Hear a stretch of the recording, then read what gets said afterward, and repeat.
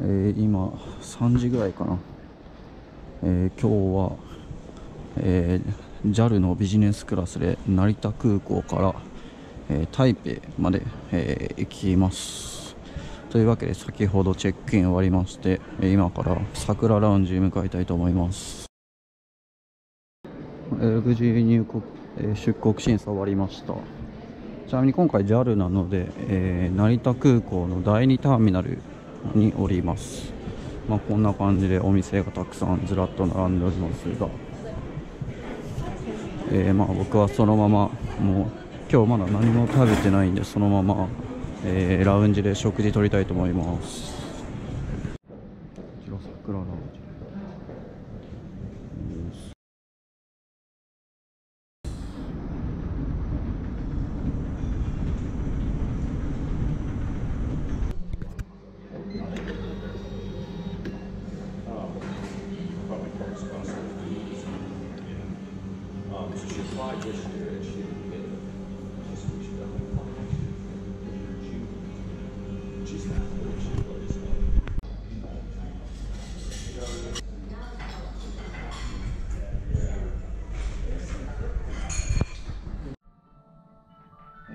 桜ラウンジでくつろいでおります。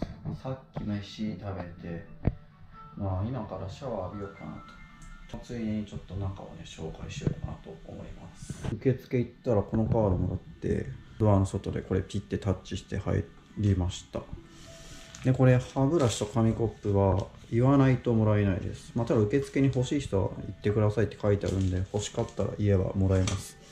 あと僕はもらってないんですけどヒゲ剃りもあ欲しかったら言えばもらえるそうです。でまあなんかこんな感じで。まあなんか一般的な高級ホテルのバスルームっていう感じですかね。こっちもなんかシャワーだしアメニティもちゃんとあるしそのブランドあ資生堂か。おなかなかいいじゃないか。座るとこもあるし。でまあ一応なんか30分程度でお願いしますと言われたんでまあささっと浴びて出たいと思います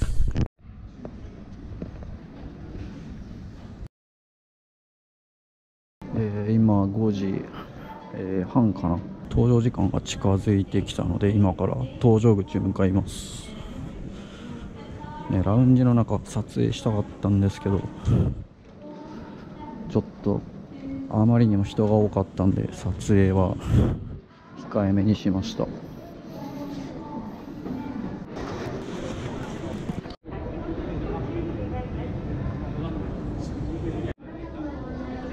ここですね。70系っていうのは今回の僕の登場口でございます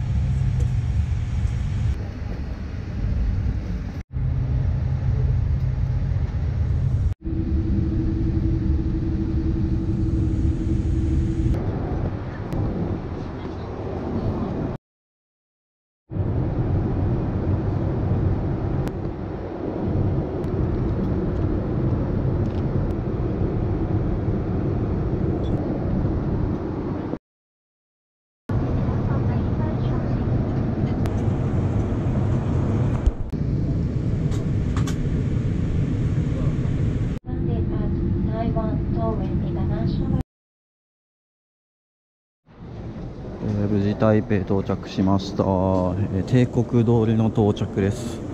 多分今台湾の時間で夜9時ぐらいかな。あとこれから、え入国審査を受けて、えー、無事台湾に入国したいと思います。えー、無事入国できました、えー、今から荷物受け取ります。8番って言われたんで8番のバゲージクレームのとこ行きます。